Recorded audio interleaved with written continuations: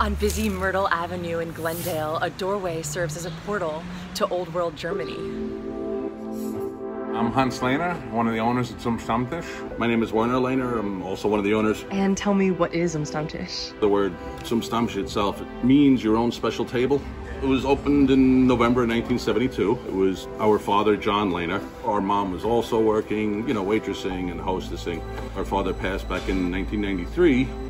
So my brother and I have been doing it, of course, since that time. What first brought your dad to open this place? What was his background? He came over here from Germany back in, I believe, the late 50s. He always had a, a love for German food and German tradition and cooking and such. Tell me how you would describe this place to someone who's never been. Traditional, old school Bavarian.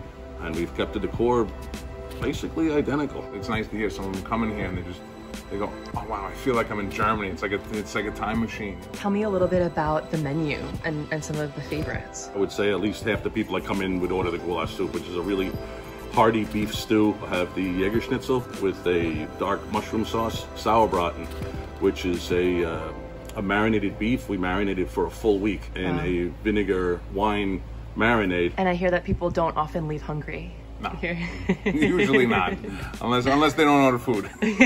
Pilsners, we have lagers, we have Kölsch beers, we have Weiss beers. I mean, the Weiss beer alone, you have so many. You have clear Weiss beer, dark Weiss beer, Hefe Weiss beer. The Cork store next door has over 60 varieties of German beer. Just you know that you can take a six pack, load up all different kinds of beers, whatever you choose. We have domestic beer, but we really focus heavy on the German beers. Fantastic. I think there's still a bottle of Bud in the back of the fridge somewhere. yeah, I don't know if that broke yet.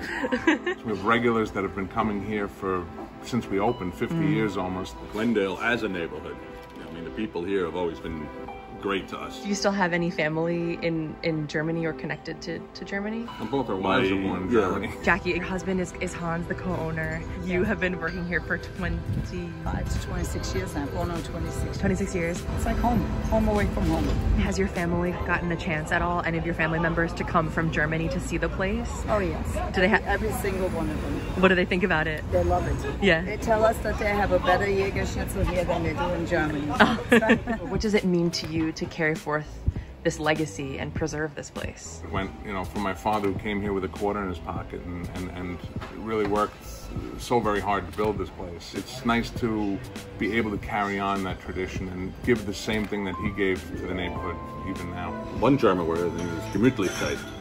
And Gemütlichkeit doesn't really have a translation. It just means a, a feeling of comfort and a feeling of belonging you know, and that's one of the things that we strive for here is, is, is that, that sense of Gemütlichkeit where the people can come in, you know, feel comfortable, enjoy some really good hearty food and drink. I think here it really, it hits home.